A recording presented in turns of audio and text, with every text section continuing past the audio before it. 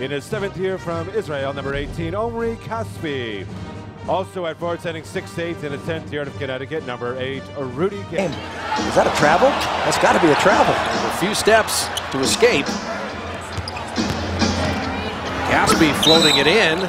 And now we got a technical on Luke Walton. Marcus Cousins will start the break with another steal.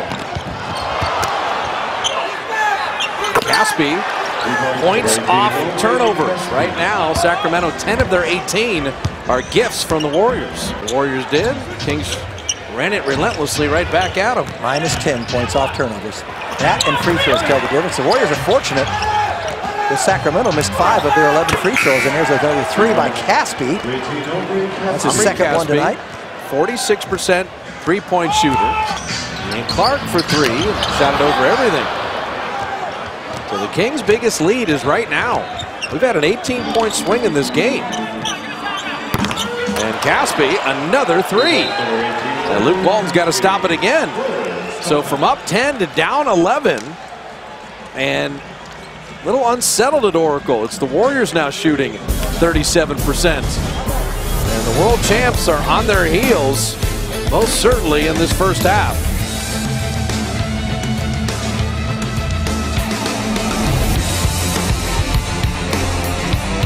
That's that's a very bad point. Very bad point. It's a three on one, and he can't get Curry's foul. He's got to get out of the way. Uh, uh, Draymond left his feet. Continues that streak of threes made in a game. Second longest in NBA history. That's a determination basket. He- He just will not allow him to be that bad. And Casspi's got to go in tonight. That was a deep one. Casspi's got 17 in the first half. Into Sacramento when he was drafted. Now he's come back second time around strongly. And he's that hot. You, you knew that was going to be good. Absolutely. You could 20 feel in the first half. Three threes. And somehow the Warriors are within three. And then there's another three by Casspi.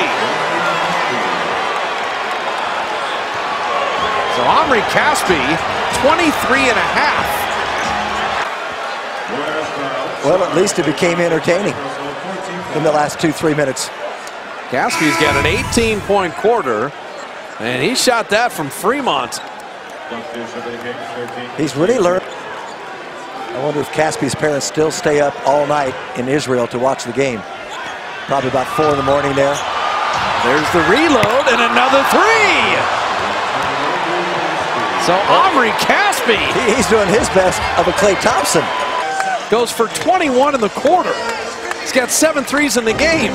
Steph Curry hadn't scored. Kings' biggest lead is right now. We've had an 18-point swing in this game.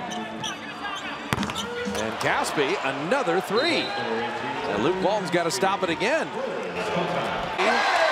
Continues that streak of threes made in a game. Second longest in NBA history. That's a determination basket. He- He just will not allow him to be that bad. And Casspi's got to go in tonight. That was a deep one. Now he's come back second time around strongly. And he's that hot. You, you knew that was going to be good. Absolutely. You could feel 20 in the first half. Threes. And somehow the Warriors are within three. And then there's another three. By, well, if you're the Kings, you got to find Casspi again, don't you? Probably about four in the morning there. There's the reload and another three. In this second half. Since the Cousins ejection, the Kings have yet to score. It's 15-0 Warrior run. Shot clock at five.